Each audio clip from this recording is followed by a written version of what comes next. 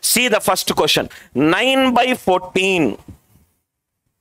9 by 14 equivalent to how much? There are four options are there. 9 by 14, A option, B option, C option, D option. What most of the students do is, they do this wrong approach. They do this wrong approach or unfortunately, teachers might teach them a wrong approach.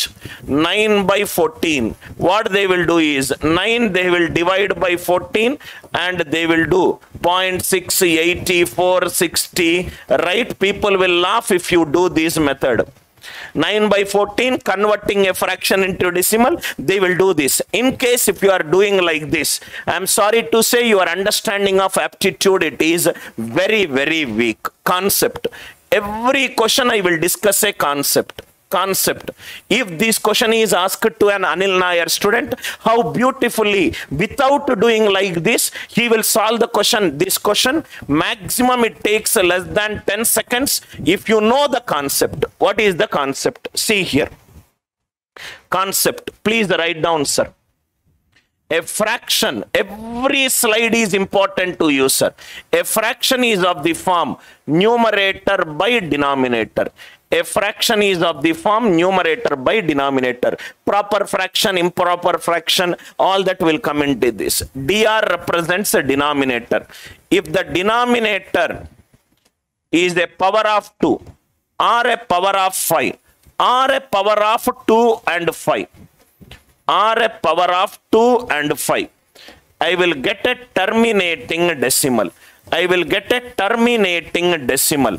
Terminating decimal means 0.32 0.18 i will get a terminating decimal. I will get a terminating decimal. Else else means other than if the denominator is not a power of 2 or not a power of 5 or not a power of 2 and 5 i will get a recurring decimal.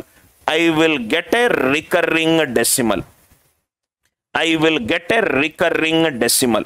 I will get a recurring decimal. First concept in this question, directly go to the denominator, check if it is a power of 2 or it is a power of 5 or it is a combination of 2 and 5. If it is there, answer will be terminating decimal. Anything other than this one, it will be a recurring decimal. If Anil Nair students are solving this question, how they will solve? 9 by 14. 14 is defined as 2 into 7.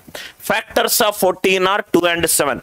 2 that means it is a terminating decimal 7 it is a recurring decimal answer clearly shows that it should be a terminating and recurring. Terminating because it contains 2 recurring because it contains 7 answer should be a combination of terminating and recurring. This is a terminating decimal. This is a recurring decimal. This is a terminating decimal.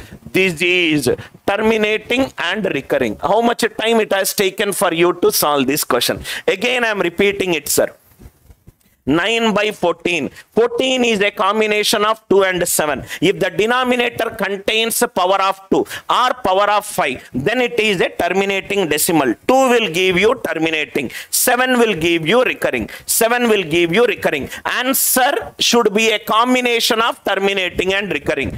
There is no bar on this. It is a terminating decimal. There is bar on the entire digits. It is a recurring decimal. There is no bar. It is a terminating. Answer should be a combination of terminating and recurring. Answer should be a combination of terminating and recurring. I hope the idea it is clear. Hey Anil sir, what if there is an answer like this? What if there is an answer like this?